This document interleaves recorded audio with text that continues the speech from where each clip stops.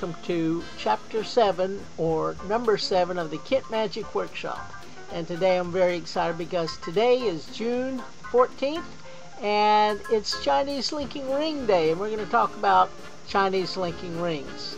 And um, I'm so excited because yesterday was the birthday of Dai Vernon, the professor who has passed away many years ago, and he created a beautiful linking ring routine called Symphony of the Rings and I've used that version of the linking rings in my show for many, many years.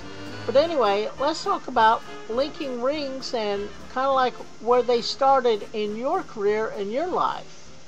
Like, for instance, here, I remember, well, I don't remember this particular one, but this here is the Johnson Smith Novelty Catalog. And I don't know exactly what year this was, but this actually had the linking rings in it. I'm going to show you the ad here. As you can see right there is the Chinese linking rings. I'm trying to hold this. Help me here. So there is the ad for the Chinese linking rings. And as you can see, not only did it talk about the link, linking rings and how amazing it was, it actually gave you the instructions. There are the instructions right there of how this trick is done. And on the next page over, they talk about more of the linking rings and how they're done. And if you look right there, you can actually see the prices of the different size linking rings. There they are.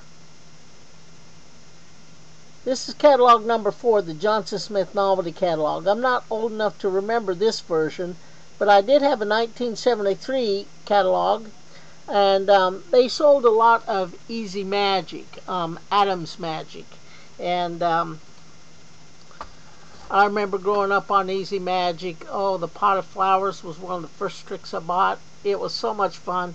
And um, this is where the linking rings began for me and this was in the E-Z Magic catalog. And this is the original E-Z catalog that I started out with. It was only 50 cents back in the day. It says E-Z Magic on it. And down at the bottom, there is the D. Robbins logo.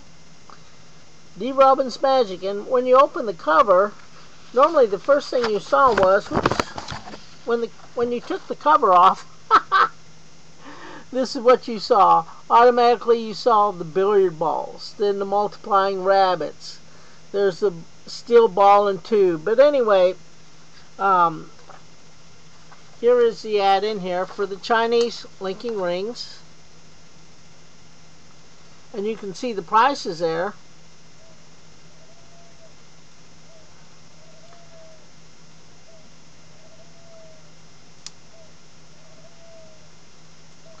You go. You can get a set of 5-inch rings for like $3 back in the day.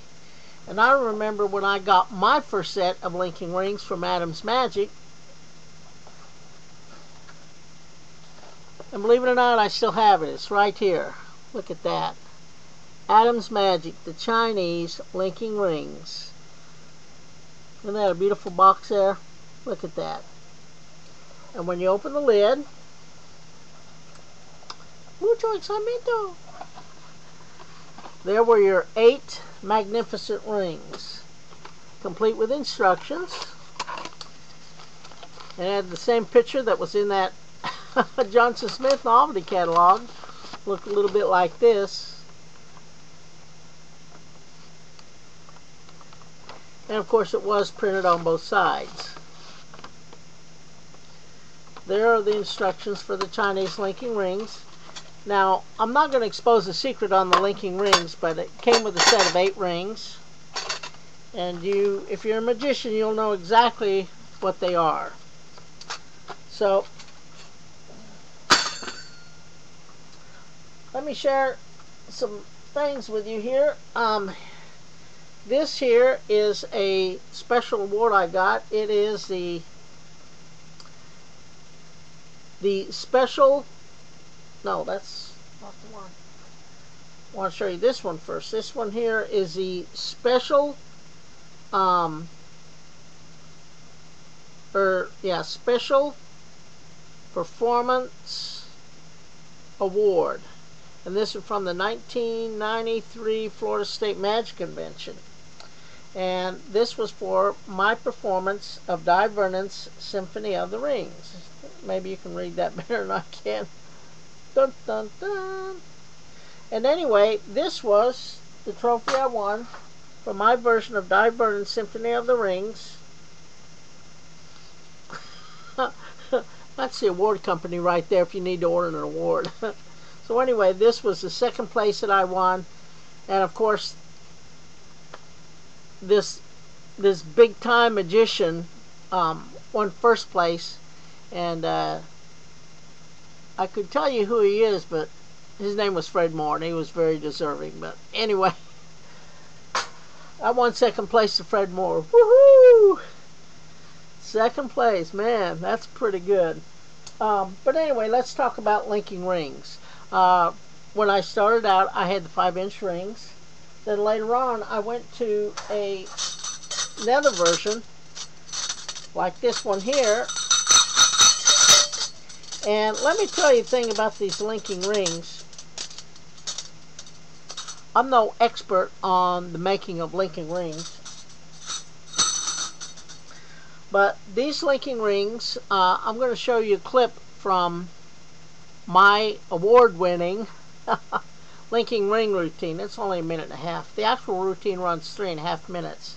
Um, but anyway, these linking rings here, you notice the metal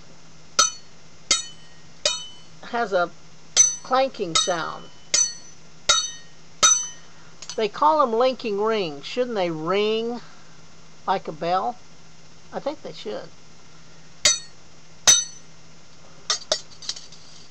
When you link them,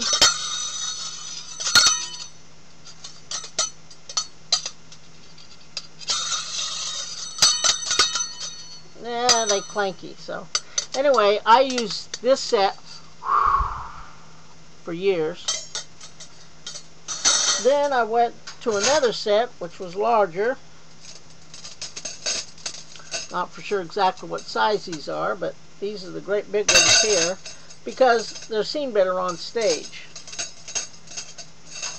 And one of the problems I had with these is some of the tricks I do, even those, listen to that.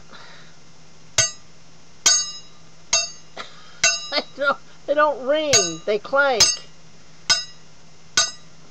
Um, some of the moves I make on my ring routine, um, these were hard to use because these were very, very, very, very heavy.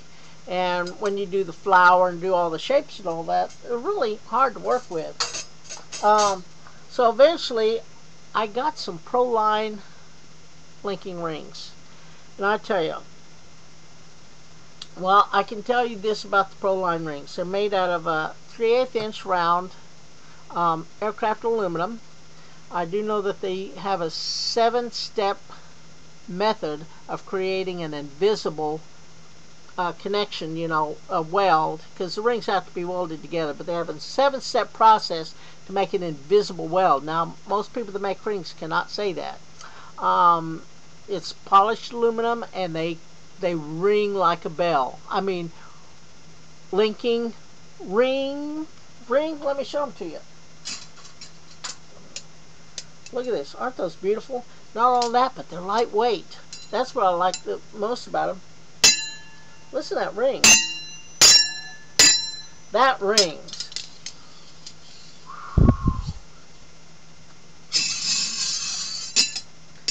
And when you're working with them in your hand, listen to that ring. That's how linking rings should sound like, like a ring. So, anyway, I do know sometimes they're hard to get unlinked. You got to find the soft spot in the middle. There you go. I do know that if you would like to get a set of the Proline rings, and also you need to watch a couple videos. One is linking rings. Uh, if you look for Dai Vernon, he's on the Merv Griffin show, you can see parts of the routine he does that he created called Symphony of the Rings. Um, there's another video called Linking Rings, Proline versus Owens. Um, that is an excellent video to watch. And a lot of people prefer the Proline rings because they just have a, first of all, they're lightweight, they're not heavy, easy to do the moves, and they ring like a bell. I love it. Um, anyway, if you like to find Proline rings, oh, and also if you want some good videos, be I, I want to mention there are other people besides Dai Vernon's routine. There are three ring routines, four ring. Uh, Doc Hayden has a three ring routine. There's many people. With, uh, Richard Ross does a routine with linking rings, and I do know that uh, Stevens Magic Emporium has some excellent video showing Richard Ross do the ring routines and all that. And some of the stuff he does is from the Dai Vernon moves. Um, so go check out Stevens Magic Emporium because they do have some excellent videos and all that about magic and, and all that other good stuff. So uh, also, if you want to find Proline rings, if you go to Proline dash magic.net. Uh, and also you can find Proline Magic on Facebook also. Go get you some excellent rings. Buy the Proline rings. He's got many, many other great magic items to buy. Um, he's a great builder. And uh, I always trust Cliff Wiggs magic products because they always work. And not only that, but his rings ring like a bell. Hey, and before we let you go, we want to show you the video of my award-winning linking ring routine. Uh, I do it to music, and it's Dai Vernon Symphony of the Rings. Um, I hope you enjoy it.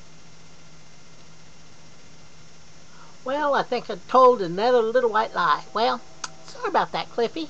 I guess I'm getting good at telling lies. I'm unable to show you my YouTube videos because basically I don't know how to get my YouTube videos on my Windows Movie Maker.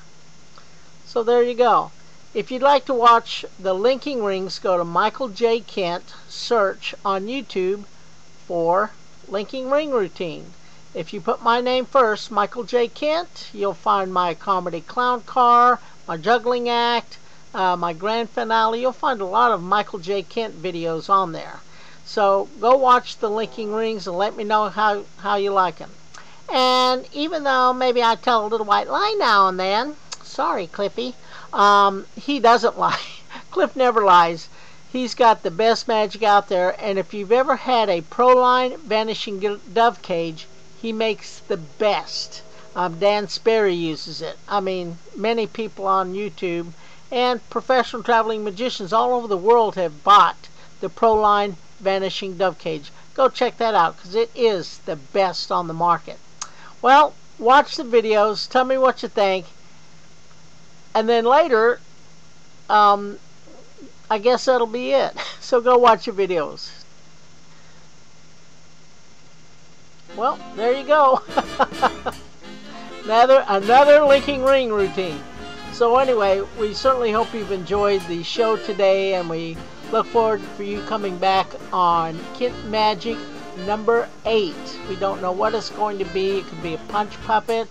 I've got a cobweb machine to do. I got to rebuild another Owen illusion.